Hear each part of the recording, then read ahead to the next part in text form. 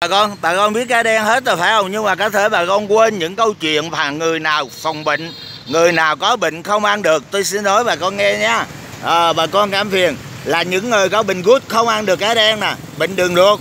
Đó hệ tiêu hóa sơ gan rối loạn chức năng gan dị ứng hải sản bệnh nhân vô sinh là không ăn được cá đen. Như vậy là cá đen những loại bệnh này không ăn được. Người có bệnh này bệnh gút bệnh đường ruột hệ tiêu hóa sơ gan rối loạn chức năng gan dị ứng hải sản bệnh nhân vô sinh là không ăn được không ăn được cá đen bà con ơi bà con ơi bà con ơi.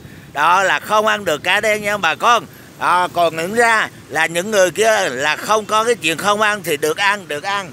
Như là những người được ăn cá đen tốt cho sức khỏe thì cho trẻ em à, cho người lớn được khỏe mạnh và thông minh. Đó thấy không? Ăn cá đen này nó tốt không có IQ nhiều không? Đó, ngừa, ngăn, béo phì. Ngăn ngừa, phì, béo béo, phì. Vì nó có là vitamin D. Nó tốt cho kinh của phụ nữ. À phụ nữ có kinh nguyệt thì nó tốt.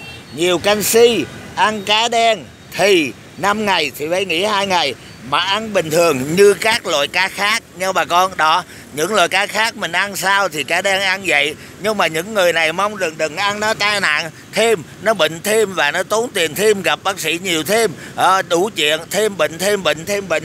Đó là những người có bệnh gút không ăn được cá đen bệnh đường ruột hệ tiêu hóa sơ gan rối loạn chức năng gan dị ứng với hải sản bệnh nhân vô sinh là không ăn được cá đen. Bà con ơi, bà con ơi, bà con quá không ăn được cá đen, mong rằng bà con ta chú ý nha. Chúc bà con vui, trẻ, khỏe, đẹp. Nào, xin chào.